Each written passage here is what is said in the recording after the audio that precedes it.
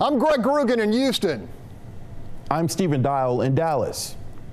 And I'm Rudy Koski in Austin. This is Texas. The issue is. This week, the widespread concern over public safety is front and center as we spoke with the Dean of the Texas Senate, John Whitmire, longtime chairman of the Upper Chamber's Criminal Justice Committee.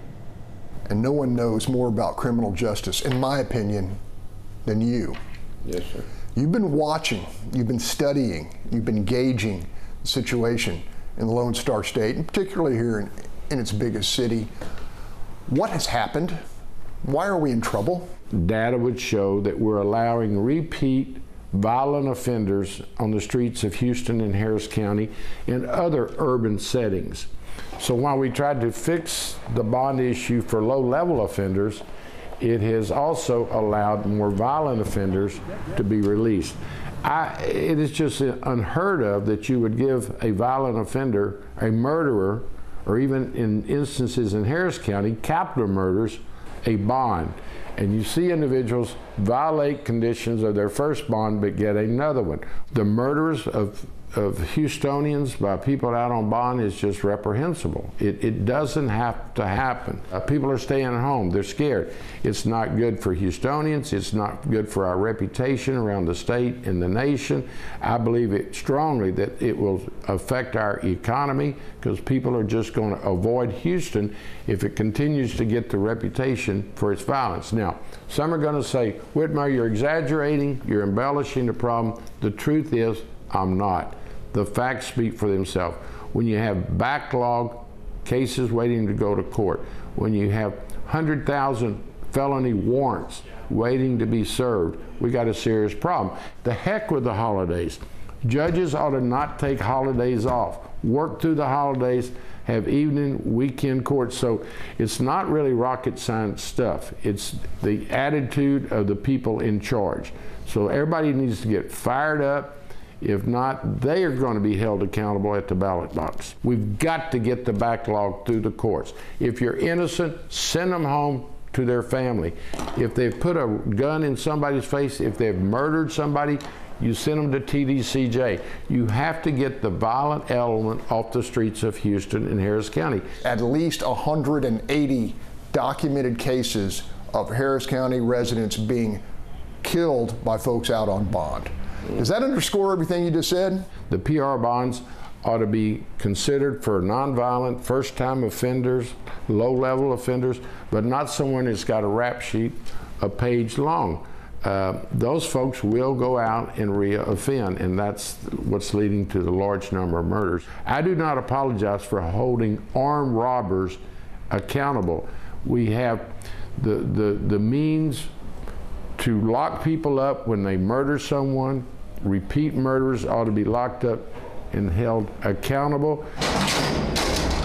Your longtime Senate colleague, Rodney Ellis, who's now Precinct 1 Commissioner, has repeatedly suggested the outright dismissal of tens of thousands of pending felony cases uh, as a means of relieving the docket and the jail.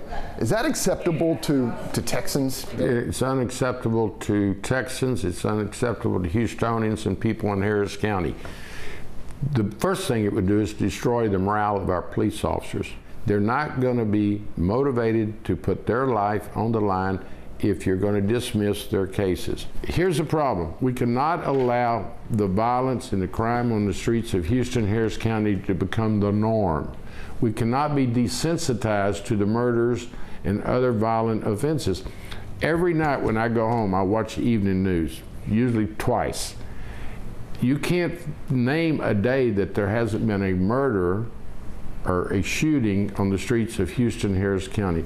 As the longtime chairman of the Texas Senate's Criminal Justice Committee, Whitmire has maintained constant oversight of the state's prison system.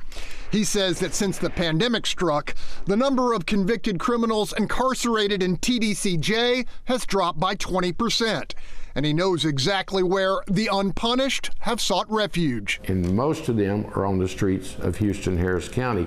I can't emphasize enough when you see someone on TV that on video has armed robber and he's not captured, they don't have a suspect, that person is doing it again. and again and again. You have very publicly broken with the sitting county judge and others on Commissioner's Court for their failure to address this issue. Uh, why did you do that? because I don't play politics with crime fighting. Uh, criminals don't discriminate. They work in all communities. The nonsense of experimenting with defunding police so you could then fund other programs is just wrong. And I think we're living through some of the uh, experiments. There's no question that mental health, neighborhood conditions, everything contributes to the human being.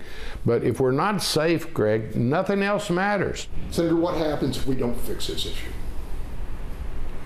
It's going to get worse. It's going to continue to uh, take lives and property. Uh, I think people will continue to alter their lives. I think they'll lock themselves up in their houses. They'll purchase firearms. They'll do burglar alarms. It will not be the community that we're proud of. Houston is the greatest city in the state, in the greatest state in the nation. We will never reach our full potential if we don't get public safety under control. Rudy, what's your one word reaction to what Whitmire had to say? Greg, I'm going to quote the senator reprehensible. Stephen, what's your word? The word is frustrated. Okay, obviously there's a great deal more to say, so the Fox Texas Trio will be back after this break.